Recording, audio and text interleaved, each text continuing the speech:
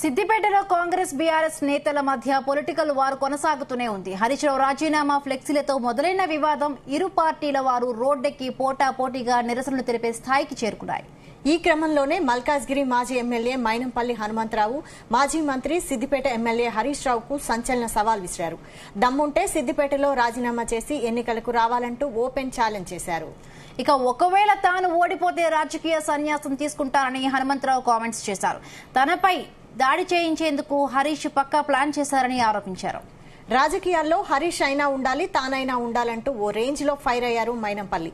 హరీష్ ఎన్ని జిమ్మిక్కులు చేసినా ఇక సిద్దిపేటలో ఆయన మళ్ళీ గెలవబోడని జోస్యం చెప్పారు.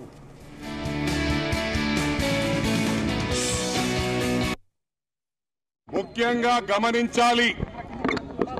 మొట్టమొదలు మా రైతన్నలకు ఏదైతే మా రాహుల్ గాంధీ గారు మా అన్న గౌరవ ముఖ్యమంత్రి రేవంత్ రెడ్డి గారు రుణమాఫీ చేస్తానన్నాడు. అదే దిశలో పోతా ఉన్నాము. ఇది గమనించాలి. హరీష్ రావు మాటలు కల్వకుంట్ల కుటుంబం మాటలు నమ్మకండి. మీరన్నీ కూడా వీడియో క్లిప్పింగ్స్ ఉన్నాయి. మాజీ గౌరవ ముఖ్యమంత్రి కేసీఆర్ గారు ఏమన్నారంటే ఈ రుణమాఫీ ఏదైతే రాహుల్ గాంధీ గారు చెప్పిండ్రో మరి అదే విధంగా రేవంత్ రెడ్డి గారు చెప్పిండ్రో జీవిత కాలంలో కూడా వాళ్ళతో సాధ్యపడదని చెప్పిండ్రని చెప్పి కూడా ఈ సందర్భంగా తెలియజేస్తా ఉన్నా. అంటే రైతన్నలకు విజ్ఞప్తి చేస్తా ఉన్నా. ఒకటి గమనించాలి. ఈ టిఆర్ఎస్ పార్టీకి ఈ బీఆర్ఎస్ పార్టీకి రుణమాఫీ కావద్దనున్నది. వాళ్ళకి ఏదైనా ఉంటే ఈ లోను ఈరోజు ప్రజలిచ్చిన తీరుపో. ఈ ప్రభుత్వానికి మంచి సూచనలు ఇవ్వచ్చు. ఏదైనా ఉంటే మా గౌరవ ముఖ్యమంత్రి గారికి సజెషన్స్ ఇవ్వచ్చు.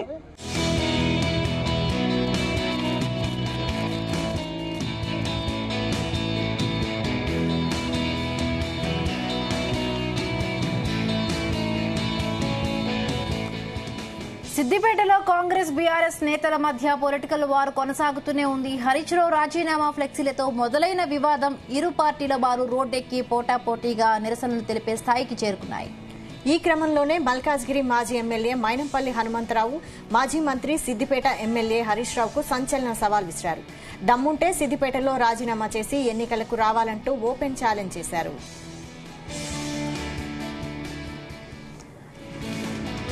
రైట్గా సిద్దిపేట ఎమ్మెల్యే హరీష్ రావు అలాగే కాంగ్రెస్ ఎమ్మెల్యే మైనంపల్లి మధ్య వివాదానికి సంబంధించి మరిన్ని పూర్తి అప్డేట్స్ మా ప్రతినిధి కరుణాకర్ అందిస్తారు.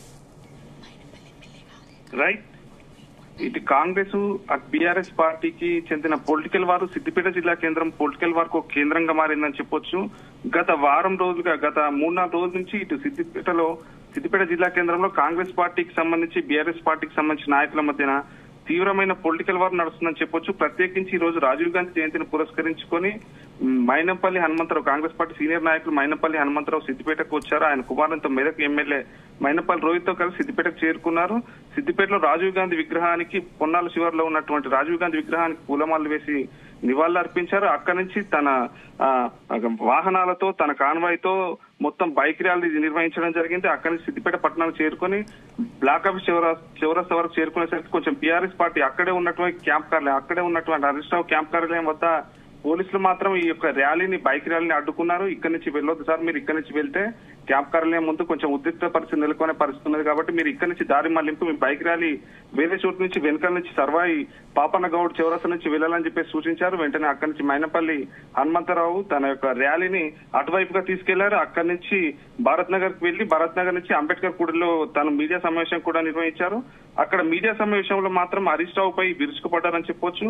మొత్తంగా హరీష్ రావుకి అయితే సవాల్ విసిరారు. హరీష్ రావుకి తాను ఇక్కడ నువ్వు సిద్దిపేటలో ఉంటూ నాయన ఇక్కడికి ఇక్కడ ప్రాంత ప్రజలకు తీవ్రంగా అన్యాయం చేశామని చెప్పేసి తాను తీవ్రంగా విడిచిపోతారు. ఇక్కడ అనేకంగా ప- అధికారంలో ఉంటూ టీఆర్ఎస్ ప్రభుత్వంలో అధికారంలో ఉంటూ గత పది సంవత్సరాలు మీరు అనేక ప్రాజెక్టుల పేరిట మోసాలకు పాల్పడరని చెప్పేసి మేము రేవంత్ రెడ్డి ఆధ్వర్యంలో మిమ్మల్ని జైలుకి ఈడుస్తామని చెప్పేసి తాను అయితే తీవ్రంగా విడిచిపడ్డారు డిఎక్స్ఎన్ పరిశ్రమ పేరుతో ఏర్పాటుతో ఆ పేదల భూములన్నీ చెప్పేసి లాక్కున్నారని కూడా మండిపడ్డారు. తాను నీకు దమ్ము ధైర్యం ఉంటే కూడా సూటిగా తాను నువ్వు రాజీనామా నీ ఎమ్మెల్యే పదవికి రాజీనామా చేసి నాపై పోటీ చేయాలి. మీరు ఒకవేళ పోటీ చేసి నాపైన గెలిస్తే మాత్రం నేను తప్పకుండా రాజకీయ సందేశం తీసుకుంటా అని చెప్పి మరొక మారు తాను తీవ్రంగా సంచలనం అయితే మాటలు మాట్లాడాడు. తాను గత పదేళ్ళ పరిపాలనలో మాత్రం అవినీతి మొత్తం బయటపెట్టి హరీష్ రావు చేసినటువంటి అవినీతిని బయటపెట్టి హరీష్ రావును మాత్రం జైల్లో పెట్టే వరకు ఊరుకునే ప్రసక్తి లేదని చెప్పేసి హనుమంతరావు అయితే స్పష్టం చేసిండు. తాను మాత్రం ఘాటు వ్యాఖ్యలు అయితే చేశాడు వ్యాఖ్యలతో ఒక పెద్ద దుమారం లేగిందని చెప్పొచ్చు. దీనికి అనుబంధంగానే మొత్తానికైతే ఇటు బీఆర్ఎస్ వాళ్ళ పార్టీ బీఆర్ఎస్ పార్టీకి సంబంధించిన ఎర్రుల శ్రీనివాస్ కావచ్చు నాయకులు ఎమ్మెల్సీ దేశపాల్ శ్రీనివాస్ కూడా హరీష్ రావు నివాసంలో క్యాంప్ కార్యాలయంలో కూడా వాళ్ళు కూడా ప్రెస్ మీట్ పెట్టి కౌంటర్ ఇచ్చారు. మొత్తంగా ఇటు కాంగ్రెస్ పార్టీ ఒక మీడియా సమావేశం నిర్వహిస్తే ఇటు బీఆర్ఎస్ పార్టీ వాళ్ళు కౌంటర్ నిర్వహిస్తున్నారు. మొత్తంగా ఇరు పార్టీల మధ్య పోటా పోటీగా ఒక పొలిటికల్ వార్ అయితే నడుస్తుంది. మొత్తానికి కాంగ్రెస్ ప్రభుత్వం తాను రెండు లక్షల రుణమాఫీ చేసి చేస్తే మాత్రం హరీష్ రావు మాట ఇచ్చారు ప్రగల్భాలు పలికారు సవాల్ చేశారు రెండు లక్షలు రుణమాఫీ చేస్తే తాను ఎమ్మెల్యే పదవికి రాజీనామా చేస్తా అని చెప్పేసి హరీష్ రావు అన్నారు. ఇప్పుడు మేము ఆ చెప్పిన విధంగానే మేము అధికారంలోకి వచ్చిన తర్వాత మేము రెండు లక్షలు రుణమాఫీ చేశాము. అయినప్పటికీ కూడా హరీష్ రావు ముందుకు రావట్లేదు తాను రాజీనామా ఎందుకు చేయలేదని చెప్పేసి అయితే మైనపల్లి హనుమంతరావు ప్రశ్నించారు ఇక్కడ.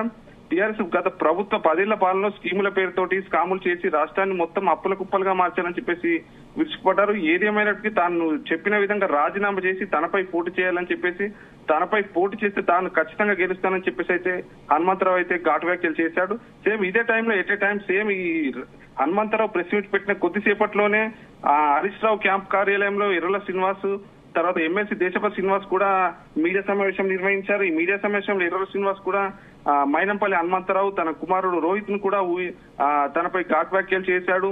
నీకు హరీష్ రావుకు పోలిక ఉందా? నక్కకు నాగలోకానికి తేడా ఉంది. నువ్వు ఒక ఫుల్ టికెట్ నీ కొడుకు ఒక హాఫ్ టికెట్ అని చెప్పేసి నీకు దమ్ముంటే నీ కొడుకుని రాజీనామా చేసి మెదక్లో పోటీ చేసి పద్మా దేవేందర్ రెడ్డి మీద గెలువని చెప్పేసి సవాల్ అయితే విసిరారు.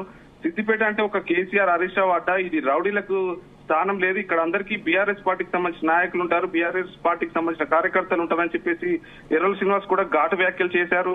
ఇటు కాంగ్రెస్ ఇటు బీఆర్ఎస్ మధ్యలో తీవ్రమైన పోటీ అయితే ఒక పొలిటికల్ వార్క్ అయితే సిద్దిపేట జిల్లా కేంద్రం ఆ, ఉందని చెప్పేసి చెప్పొచ్చు.